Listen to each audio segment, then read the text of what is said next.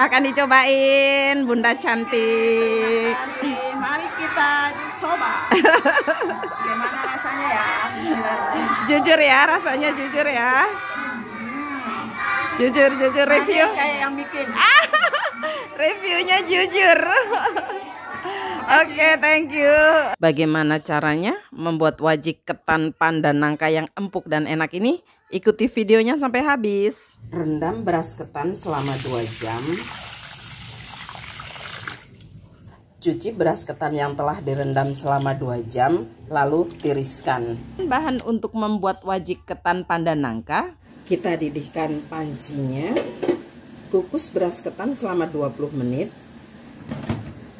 kita akan potong-potong nangkanya ini kebetulan nangkanya itu jenisnya yang agak kecil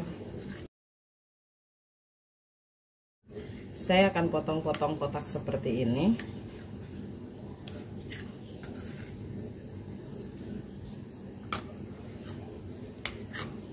Setelah selesai dipotong kita sisihkan.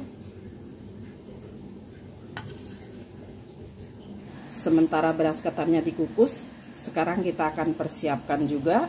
Ini air, air putih biasa, dua lembar daun pandan. Biar nanti wajiknya wangi.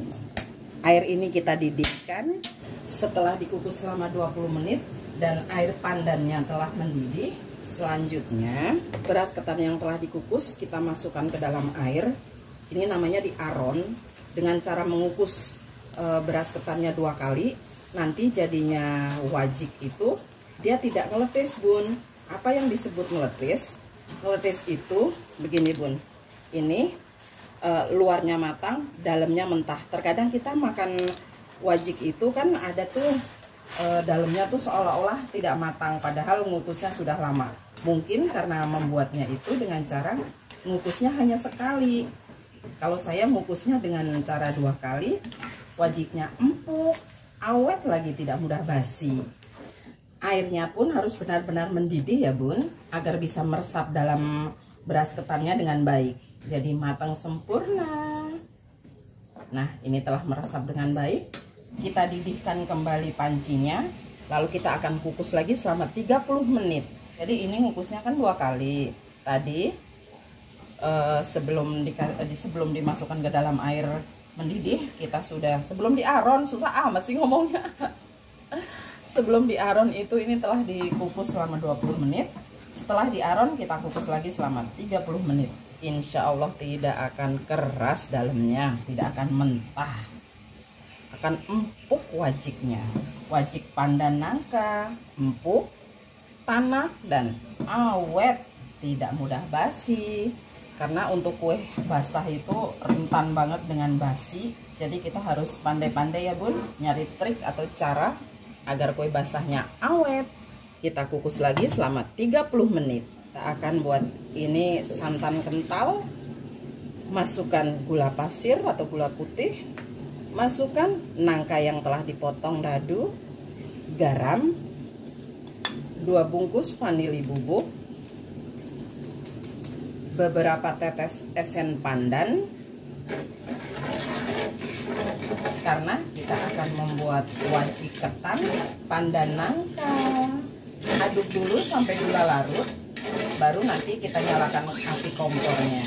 Kita nyalakan api kompor masak hingga santan ini nanti mendidih sambil terus diaduk. Setelah santannya betul-betul mendidih seperti ini betul-betul telah mendidih ya bun agar nanti tidak mudah basi wajiknya kita aduk kita masak sampai nanti kalis atau mengkilat warnanya hmm, aromanya wangi sekali wangi dari pandan esen pandan juga dari nangka wajiknya ini top sekali wajik ketan pandan nangka enak empuk, manis, gurih, awet. Kita masak sampai betul-betul tanak ya bun ya. Lihatlah sampai meletup-letup. Wajib ketan pandan nangka yang empuk, sajian untuk arisan dan kumpul keluarga. Setelah seperti ini, santannya telah meresap keseluruhannya, warna ketannya pun telah mengkilat. Ini tandanya telah matang atau telah tanak. Tuh, Bun, seperti ini. Ini kita matikan api kompor. Kita persiapkan loyang. Saya menggunakan dua loyang. Kita akan tempatkan eh tempatkan. Kita akan tempatin di sini. Aromanya wangi sekali. Kita ratakan. Seperti ini. Dan ini kita taruh di loyang yang agak besar. Kita ratakan juga. Wajik ketan pandan nangka yang empuk dan wangi sajian untuk arisan dan kumpul keluarga. Oke ini akan kita diamkan dulu atau kita dinginkan dulu baru nanti kita potong-potong udah dingin sekarang kita sisir pinggirannya. Kita akan potong-potong. Oke bismillah. Kita ambil daunnya. Pisaunya kita lapisi dengan plastik biar nggak lengket karena ini berbahan dasar ketan wajik ketan pandan nangka akan kita sajikan di saat arisan dan kumpul keluarga. Untuk membuat wajik ketan pandan nangka yang empuk dan awet tonton videonya dan jangan di skip ya bun agar tidak gagal paham. Dan begini jadinya. Cantik sekali kan bun? Ini dia bu masakan kita kali ini. Wajik ketan pandan nangka yang gurih empuk dan awet. Tidak mudah basi terima kasih buat anda yang telah menonton video saya. Wassalamualaikum warahmatullahi wabarakatuh